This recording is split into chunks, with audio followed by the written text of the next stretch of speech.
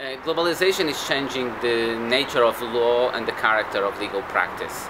Um, there is a multiplication of the applicable legal sources that lawyers have to deal with in their cases. Uh, many of these legal sources are increasingly of an international character. Um, the disputes in which lawyers are involved are increasingly also of a transnational uh, nature.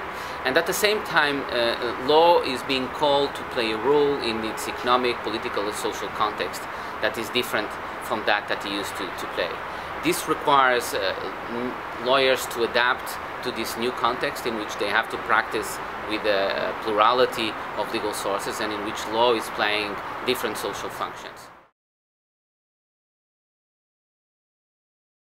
The changing nature of law and of the character of the practice of law requires us um, to teach law in a different way. Um, not only in, through the ways that we have seen so far law schools answer to this challenge, that is basically by introducing in their curriculum more international law subjects and in Europe particularly more European Union law subjects. In reality what we need is two things. The first is basically to reconstruct our understanding of the traditional subject matters of law, such as contracts, administrative law, in a way that incorporates into those subjects this new transnational uh, dimension of, of, law and this multiplication of the legal sources. And the second thing we need is to teach and understand law better in its social, political and economic context. For this we need more interdisciplinary tools in the, uh, the, to be used in the teaching in the teaching of law.